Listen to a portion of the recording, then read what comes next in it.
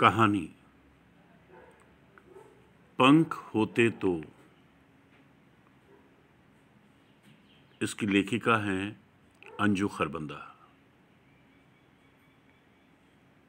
आज फिर वही उदासी। मेघा फ्लैट की बालकनी में आकर खड़ी हो गई।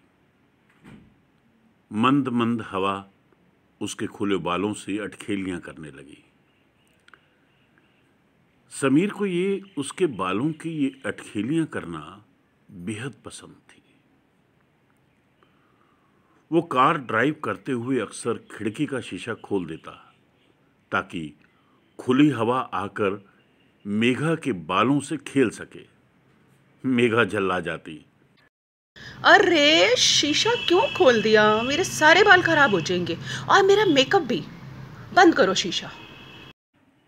इस पर समीर पहले तो मुस्कुराता और फिर खिलखिलाकर हंस पड़ता। अरे यार दोबारा बाल बना लेना। तुम्हारी ये खूबसूरत जुल्फें हवा से खेलती हुई कितनी प्यारी लगती हैं। इन्हें यूँ ही खेलने दो ना। और समीर शरारत से गुनगुना उठता। ये रेशमी जुल्फे, ये शरबती आँखें, इन्हें देख कर जी रहे हैं सभी। मेघा ज़बरदस्ती शीशा बंद करवा देती, पर समीर का गुनगुनाना रास्ते भर जारी रहता। आज नेहा के घर पार्टी थी। मेघा को पार्टीज़ में जाना जितना पसंद था, समीर उतना ही इस पार्टी से दूर भागता था। और फिर भी कभी कभी मेघा का दिल रखने के लिए उसके साथ चल पड़ता। मेघा को ज़िंदगी का हर पल उमंग से जीना पसंद था और इसके विपरीत समीर को घर बैठना। मेघा को स्टेटस सिंबल पसंद था और समीर को सादगी भले ही दोनों का प्रेम विवाह हुआ था, पर दोनों नॉर्थ पोल और साउथ पोल की तरह विपरीत ध्रुवों की तरह ही थे। समीर और मेघा एक ही कॉलेज में पढ़ते थे, लेकिन कभी एक दूसरे से बात नहीं हुई थी। समीर की लियाकत और शराफत के सभी कायल थे। एक दिन कॉलेज की कैंटीन में चाय पीते हुए समीर के दोस्तों में से सबसे शरारती दोस्त उज्जवल ने दूसरे दोस्तों को चैलेंज किया। वो चैलेंज ये था कि जो सामने ग्रुप में बैठी लड़कियों में से किसी एक को गुलाब देगा, उसकी एक महीने की चाय का बिल मैं भरूँगा। सब हो हो कर हंस पड़े। समीर इन बचकानी बातों से सदा दूर रहता था। उज्जवल ने उसे चैलेंज किया तो वो तैश में उठकर लड़कियों की टेबल की ओर बढ़ गया। पर घबराहट में कुर्सी से उठती हुई मेघा से टकरा गया। हड़बड़ाहट में उसने मेघा को सॉरी कहा और गुलाब उसकी ओर बढ़ा दिया। लड़की के ग्रुप में जोरदार सीटी बजी। Hurray hurray! की आवाज़ के साथ ही उन्होंने समीर को कंधे पर उठा लिया। यह सब इतनी जल्दी हुआ कि समीर को कुछ सोचने, समझने का अवसर ही ना मिला। मेघा पहले तो कुछ समझी नहीं, और जब समझ आई तो खूब हँसी। और इस तरह मेघा और समीर एक दूसरे के करीब आ गए। घर वालों को पता चला तो उन्हें भी ये जोड़ी खूब जची। समीर की नौकरी लगते ही दोनों प्रणय सूत्र में बंध गए।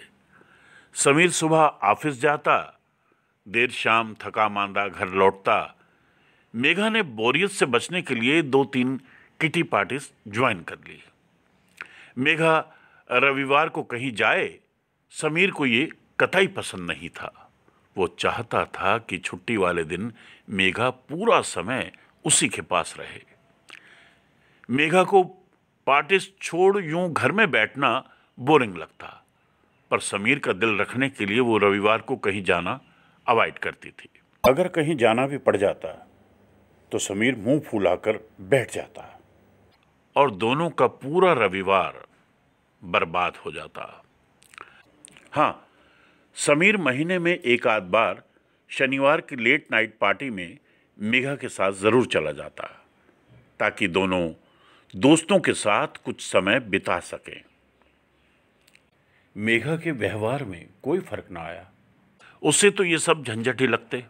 इसलिए उसने फुल डे मेड रखकर सब झंझटों से मुक्ति पा ली। पर समीर को टियारा के प्रति उसकी ये रुखाई बिल्कुल भी बर्दाश्त नहीं होती थी। इसी बात पर अक्सर दोनों में कहा सुनी भी हो जाती। सुनो, अब तुम माँ बन गई हो। तुम्हें अपना अधिक समय टियारा को देना चाहिए। समीर की इसी बात पर मेघा उखड़ जाती और गुस्से से दंदनाती हुई बेडरूम में चली जाती और रोते रोते सो जाती या फिर तैयार होकर पार्टी में चली जाती। दोनों ही सूरतों में टियारा ही सफ़र करती। एक दिन बात इतनी बढ़ गई कि समीर पंद्रह दिन की छुट्टी ले टियारा को अपने होम टाउन उसके दादा दादी के पास ले गया। बेटा, हम अब कुछ दिन दादा दादी के साथ स्पेंड करेंगे। वहाँ पर हम खूब मस्ती करेंगे। समीर ने टियारा को मेंटली तैयार करने की कोशिश की। और मामा? अब बाद में आ जाएगी। समीर ने टियारा को प्यार से समझाया तो वो मान गई। मेघा उस समय गुस्से से इतनी भरी बैठी थी कि उसने एक बार भी दोनों को नहीं रोका। जाते जाते टियारा मेघा के पास आई और उसे लिपटते हुए बोली अम्मा, आप भी जल्दी आ जाना। नन्ही बच्ची का स्नेह भी मेघा को भिगो नहीं पाया। दो दिन तक मेघा गुस्से में रही। तीसरा दिन शुरू होते ही खाली घर उसे खाने को दौड़ने लगा। बेचैन होकर वो बाहर बालकनी में आकर खड़ी हो गई। पार्क में खेलते बच्चों को देख बरबस ही उसकी आँखें भर आई। वो कितनी देर तक उन्हें निहारती रही और टप टप आँसू उसके चेहरे को भिगोते रहे।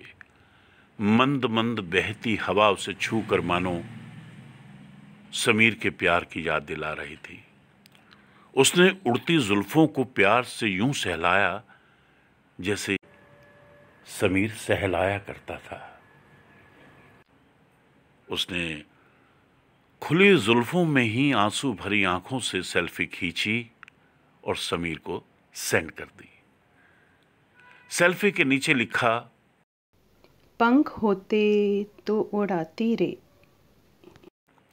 समीर जैसे उसके मैसेज का ही इंतज़ार कर रहा था उसने झट बड़ा सा दिल उसे सेंड किया और साथ ही प्यारी सी स्माइली भी।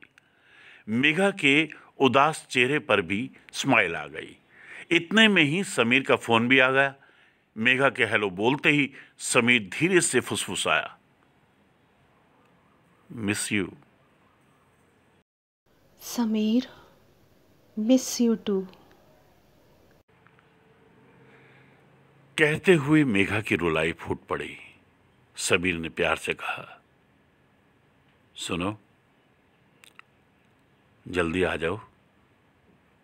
हम सभी को तुम्हारा इंतज़ार है। इस बार दिवाली सभी यहाँ मिलकर मनाएँगे। अच्छा लो, टियारा से बात करो। हेलो, टियारा बेटा, मम्मा कल ही आ रही है तुम्हारे पास, हमेशा के लिए।